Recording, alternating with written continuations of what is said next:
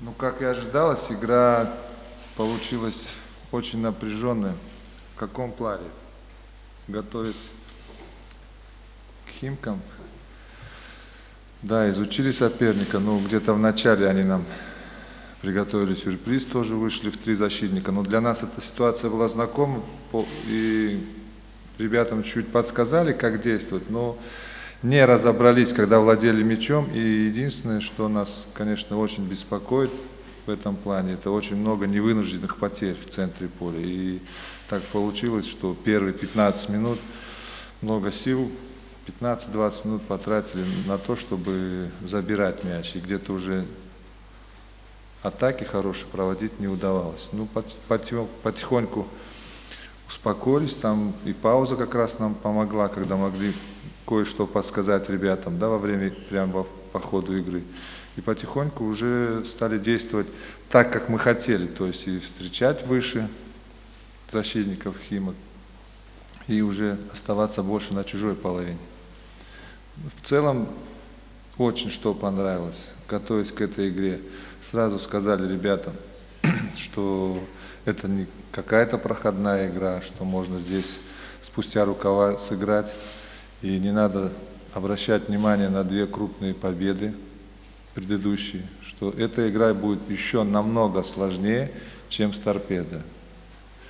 Понравилось, как ребята восприняли эту нашу информацию и как они вышли на игру, с каким настроем и с какой самоотдачей. Еще раз с победой, Андрей Витальевич Сергей Вельчинский.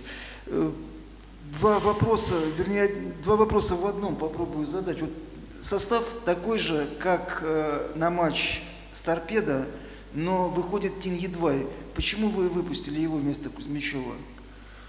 Ну, во-первых, так скажем, да, маленькая пауза между играми была. Ну, есть у нас медицинский штаб, тоже он какие-то рекомендации нам подсказывает.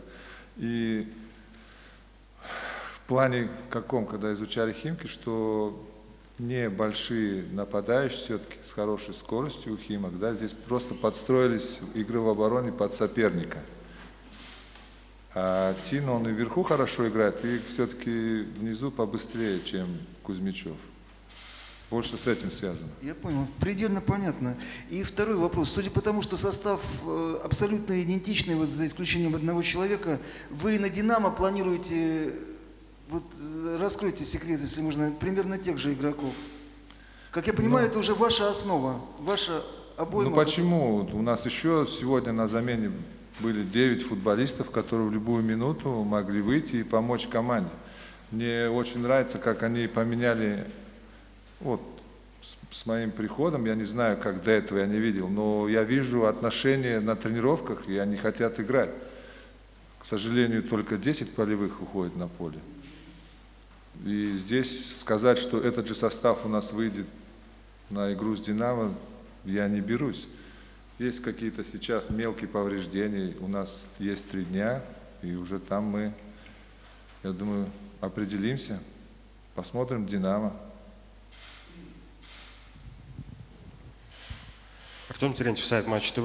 Понятно, что вы в команде еще не, не так давно, поэтому не знаю, насколько получится правильно, ну, получится ответить на этот вопрос. Как вам кажется, что происходит с Антоном Мирончуком? Это психологические какие-то проблемы возвращения после травм, что он довольно уже долго набирает форму, постепенно ну, пытаясь вернуться на тот уровень, на котором он играл? Или это какие-то, может быть, физические проблемы у него до сих пор остались, может быть, он не готов? То что с Антоном Мирончуком, когда мы увидим прежнего Антона Мирончука? Ну, я, ну, я скажу, как я видел тренировки видел, да, Антона тоже очень давно знаю, я еще когда он за дубль играл, 17-летним. Ну, вот мое мнение, почему? Если так разобраться, скорее всего, он не может набрать физическую форму. Ну, вы знаете, да, прекрасно, сколько он пропустил из-за травмы. И, к сожалению, вот даже после игры с торпедо, он получил небольшой рецидив старой травмы. И вот эти два дня он провел только вчера такую очень среднюю тренировку. А как ему набирать кондиции? Ему мешают, так скажем, старая травма.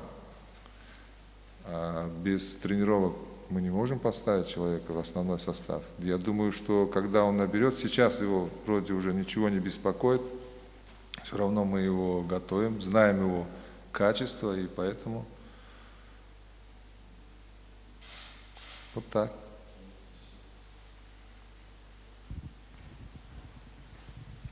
Владислав Шашло, Росфото. Э, Скажите, использование Станислава Макеева в передней линии прессинга в первом тайме – это ваше решение или это э, диктовала ситуация, на, ну, расположение на поле? Но это больше ситуативно, потому что, если вы заметили, в игре с торпедо тоже он вышел выше, чем Карпукас, но потом мы поменяли, потому что много верховой борьбы, да, и он там себе, ну, для нас тоже было хорошо, что все-таки он головой получше Карпукаса играет. Сегодня же мы готовили сразу его нижним опорным, да, так, шестеркой, скажем, но схема Хима и ситуация так возникала, что я этого не запрещаю, что если в его зоне и он может выдвигаться с нижней позиции, то он должен это делать. Поначалу, когда не делал, нам было сложно отбирать. Когда стал он выдвигаться, вот то, что мы требуем, нам и, вот как я сказал, легче было прессинговать выше соперника.